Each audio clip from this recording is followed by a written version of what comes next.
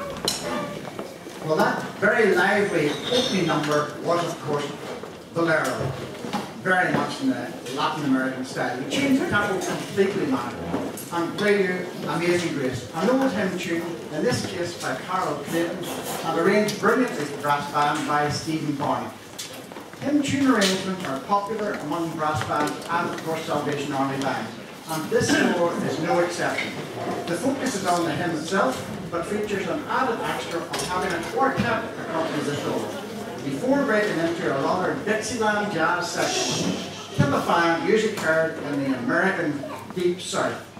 The quartet is made up of Richard Johnson, Phil McCurry, Colin Coates, and Chris McGugan.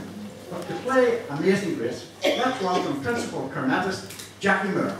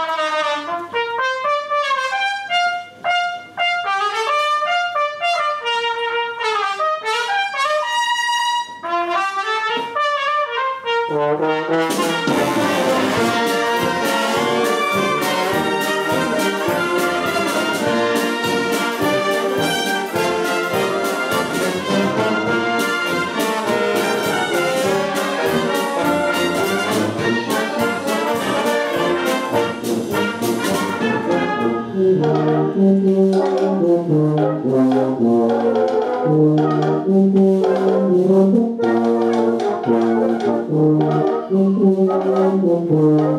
you.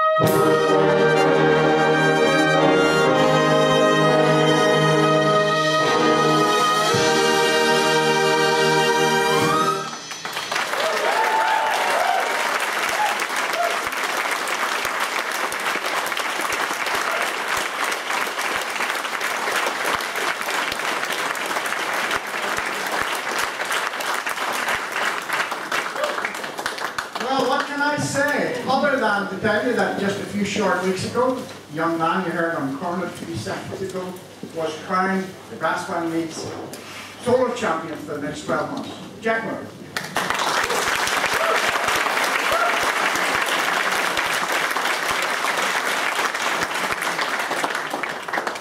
Now we turn to the music of T.J. Powell, often referred to as the Welsh Sousa. Wrote a great deal of music for brass band, but in particular wrote music and named, uh, named them after various castles in Wales.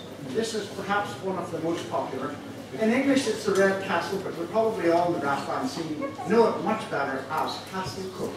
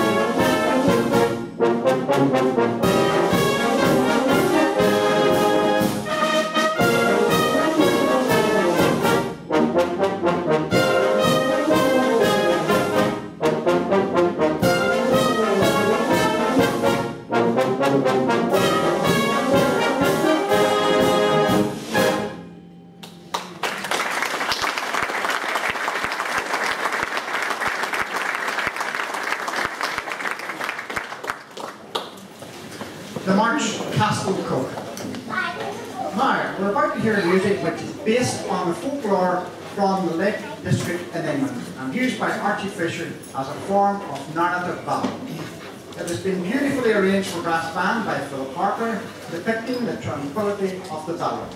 This arrangement features a short solo and baritone led by Graham Pollock, and also in cornet played by Zoe Green, The Witch of the Westmorland.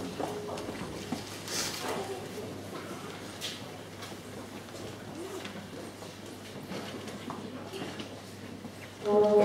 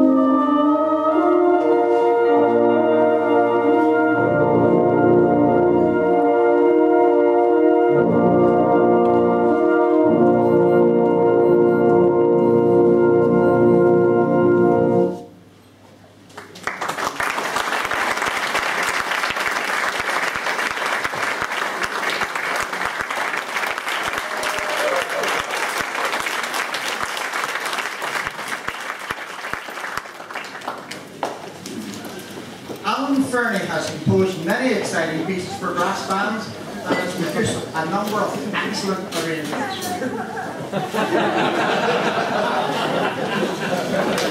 can pay me. I need the money. We're not going to do. The band lighted up their program once again with Mexican holidays.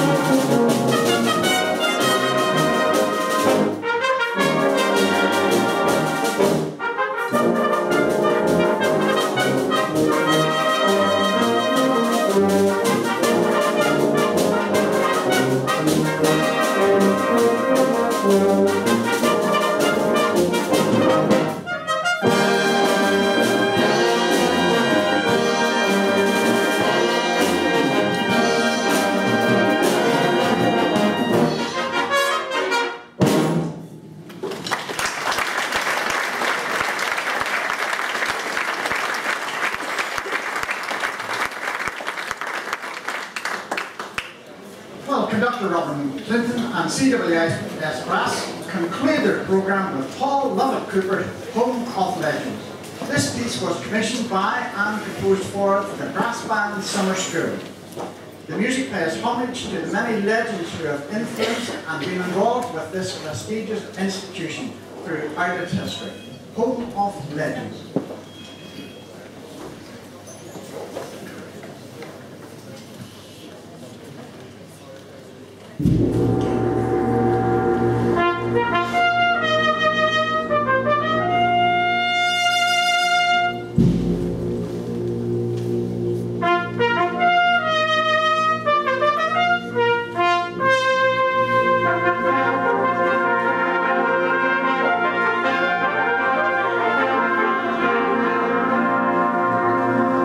Thank